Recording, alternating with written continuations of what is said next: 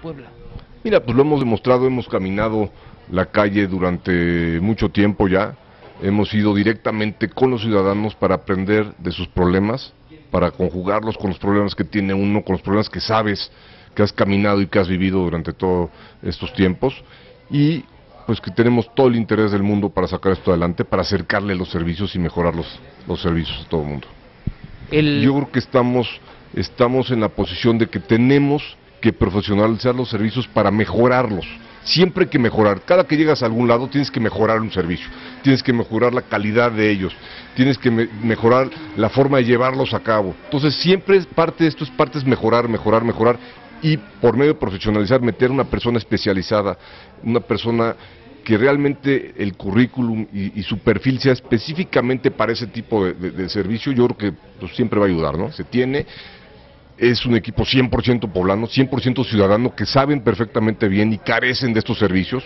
Cuando te digo que carecen de estos servicios es que se va a tomar a todo el mundo en cuenta. ¿no? básico. ¿Tienes algún proyecto que sea este, punta de lanza de todo lo que podría ser la, tu administración municipal en caso de, ganar la candidatura y después ganar las elecciones? Ya tengo el proyecto terminado inclusive.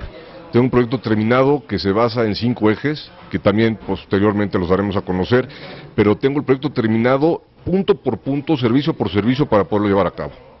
Ponme un ejemplo, nada más como una probadita de lo que podría ser. Te, soy honesto, esto se daría a conocer posteriormente en, algún evento, en, el momento que sea uno favorecido, pues ya posteriormente se sacará esto a cabo. ¿no? No, es, no es ciencia ni está oculta, el número uno es la seguridad, tenemos que blindar a nuestros ciudadanos, es el problema número uno que tenemos al día de hoy tenemos que cuidarlos como, como tú lo viviste, la electrificación, la pavimentación, este, todo lo que son obviamente tienes que tener una, un, un, proyecto estratégico para poder llevar a cabo primero las, las, este, la solución de los drenajes, después la pavimentación, después guarniciones y banquetas, porque luego es, es una competencia, ¿no? Cuando tú compites con alguien, pues vas en contra de, de quien sea, ¿no? Pero cuando termina la competencia y, posteriormente te bajas del podio o te bajas de, haber ganado esa competencia, pues tienes que incluir a todos, ¿no? Y yo creo que es un, error gravísimo no tener comunicación tanto para arriba como para abajo como para los lados y aquí va a ser un proyecto que no tiene colores. Obviamente vamos por el partido, por el partido que es el PRI, pero es un proyecto que suma a los ciudadanos, que suma al 100% de los ciudadanos.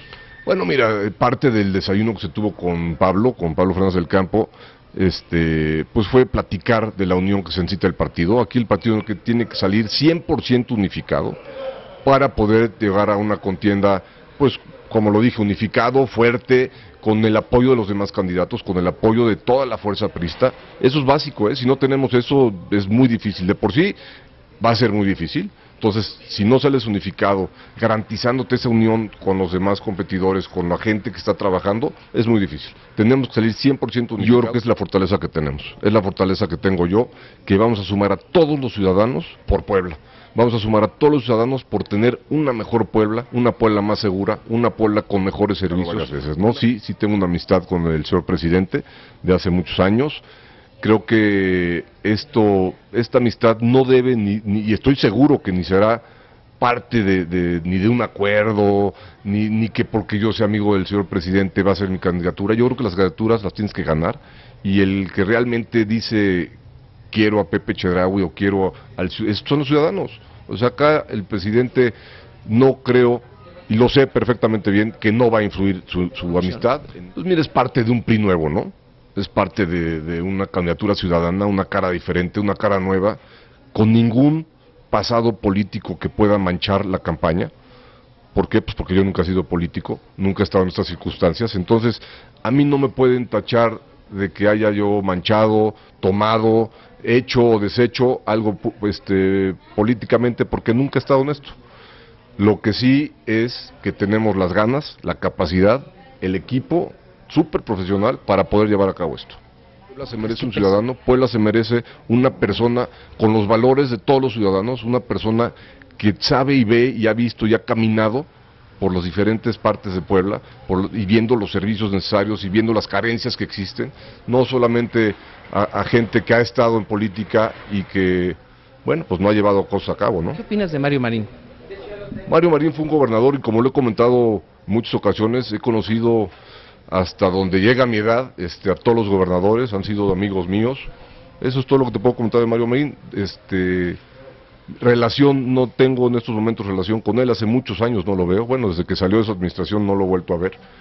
Este, como todo, un político, no, no puedo decirte, fue mi amigo, sí, sí fue mi amigo, no, no, no puedo ocultar a nadie, pero como te digo, fue mi amigo Mario Marín, también fue mi amigo, el mismo, bueno, es mi amigo el señor gobernador Rafael Moreno Valle, es mi amigo el, el presidente municipal Eduardo Rivera, este, todos los presidentes municipales son mis amigos, bueno, no, y no es una amistad entrañable, digo, son gente que conoce y por la parte empresarial tengo mucha comunicación con ellos.